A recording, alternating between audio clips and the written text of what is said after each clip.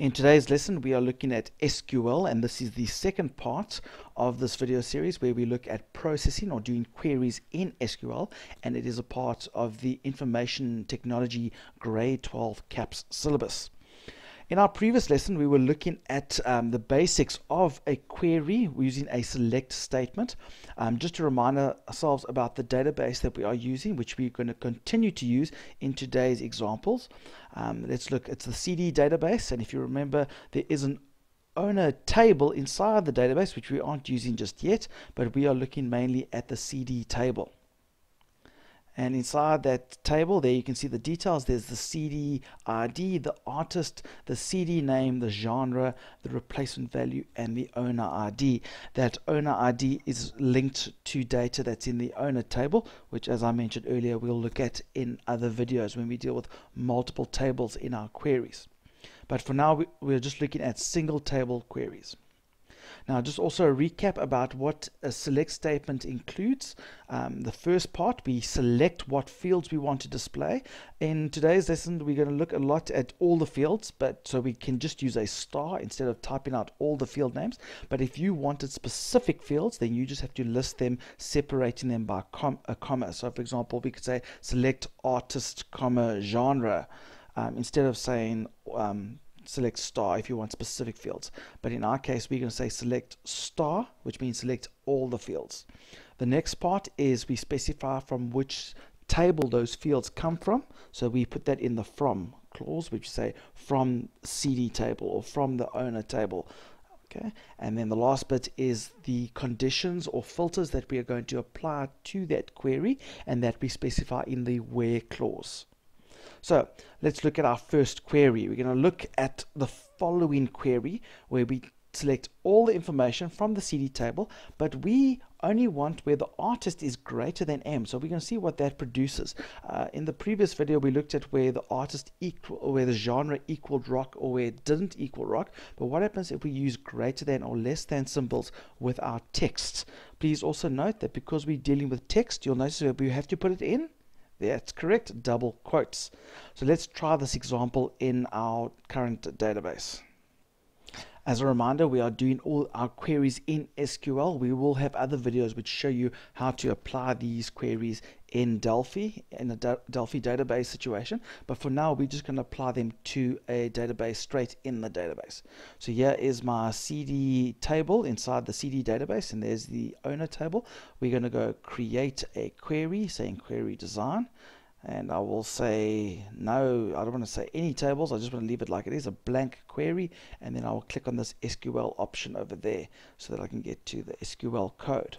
And then I will say select star from which table we want from the CD table where the artist must be greater than M. But remember M we want to refer to it as it is as text so we must put it in double quotes so if I run this query, it should give me all the names of the uh, records where the artist has the letter M or more. In other words, where they start with the M or greater than that.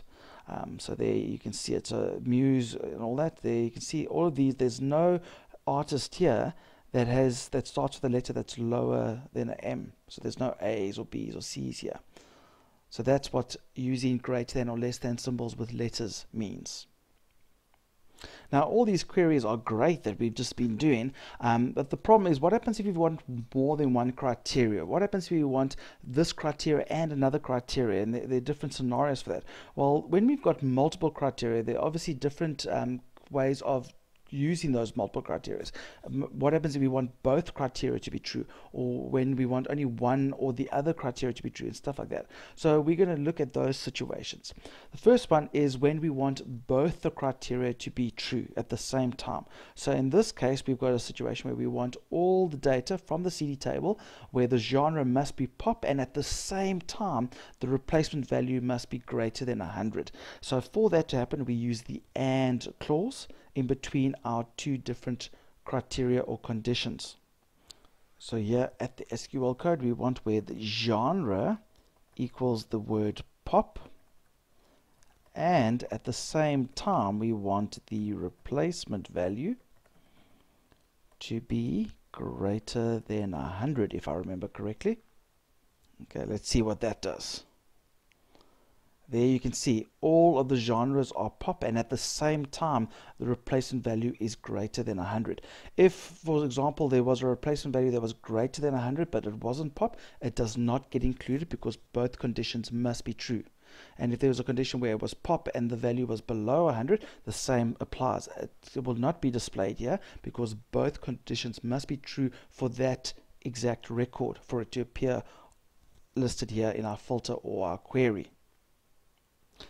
Now this example that we just did was we said that both conditions had to be true at the same time. What happens if we wanted it to be either pop or the replacement value had to be greater than 100 or both. It doesn't matter. As long as one of those criteria are true, we are happy. Well, just like as I said, I said the word there, I said the word or. So that's what we're using instead of an and. So we're going to say exactly the same um, query, but instead of having an and, we're going to use an or, which means that as long as one of the conditions is true, it will be displayed in my query. So as long as genre is pop, it will be displayed, or if replacement value is greater than 100 it will be displayed or if both are correct then it will be displayed. So going back to this query we're going to replace the and with an or and we'll run it this time. And here we'll see there are now records which don't have pop as a genre but we'll notice that those ones do have a replacement value greater than 100 and there should be some where it says pop but it is less than 100 it might take me a while to find them but I'm pretty sure they are they do exist. Maybe they don't, but they all seem like they're above 100. But you get the idea. In this case, both conditions have to, uh, can be true or one or the other. They don't have to both be true for it to only be displayed. That is what the AND is for. So to recap, if you want both conditions to be true, you use the AND. And if you want either one of the conditions to be true, you don't mind as long as one of them is true, you would then use an OR. Now you can also use multiple conditions um, with multiple ORs and ANDs. Now if we look at this scenario over here, we are selecting everything from the CD where genre equals pop or the genre equals rock and the replacement value is greater than 100. Now, that's interesting because there's no brackets here. There's nothing that's. What is that and and that or meaning? Does it mean that it, do, it doesn't matter if it's pop or rock, and as long as it's pop or rock and the replacements are greater than 100? Or does it matter if it's pop or the only other condition is if it's rock and replacement value greater than 100? So, are these two combined together, the two genres, or is the genre and the replacement combined? Well, the correct answer that you need to remember, and the way I remember it, is alphabetical order. The AND comes before the OR in alphabetical order. In other words, the AND gets done first. So this, in this case, it will first look for all the records that have a genre rock and replacement value greater than 100. And once it's displayed all those records, it will then look at all other records that have genre equal to pop. So let's try that. So we got genre equal to pop or genre equal to rock and replacement value greater than 100. I think that's all correct. Let's run it. There we go. You see there is pop and it doesn't matter. Okay, well, it's very difficult to say. Let's change it a bit and let's make it a smaller value. Uh, instead of smaller, let's make it a bigger value. Let's say all replacement value greater than 120.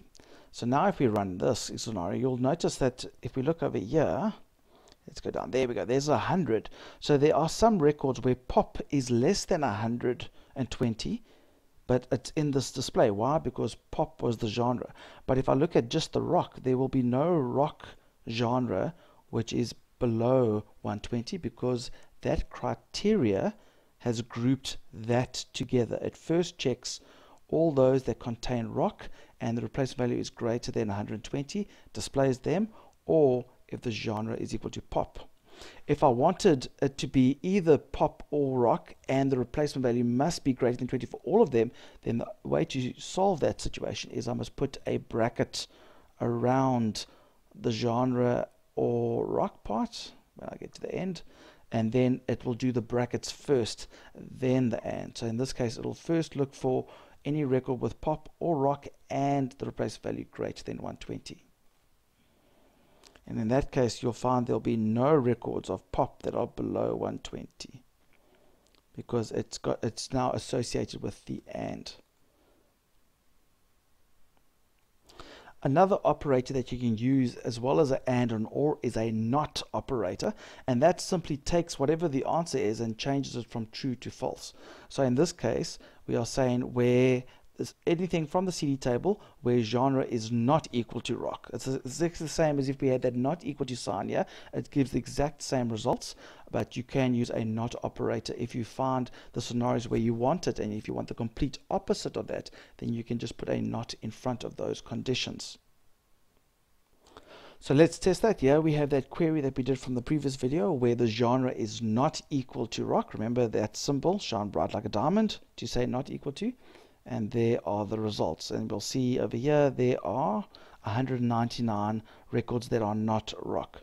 Now if I change it using the not operator then all I have to do is put a not in front and change the e not equal to sign to an equal to sign. So all of those records in the CD table where the genre equals to rock not really the opposite of it. So where genre is not equal to rock we should get the same results 199 records. So there you can see those are two exactly the same queries. For part 1 on SQL as well as the other parts that we'll be covering with SQL statements as well as other stuff on Delphi and Delphi programming please go to our YouTube channel where you can subscribe leave comments and follow us on Twitter so you can see whenever we upload upload new videos to our channel. We'd love to hear from you and remember, don't do it the long way, do it the Mr. Long way. The examples from today's lesson come from the Grade 12 Delphi e-notes from Study Opportunities. These are available in 2014. In 2015, they'll be releasing a textbook which covers the Grade 12 CAP syllabus with more examples. Um, if your teacher is interested in getting these textbooks, then they can go to the following website.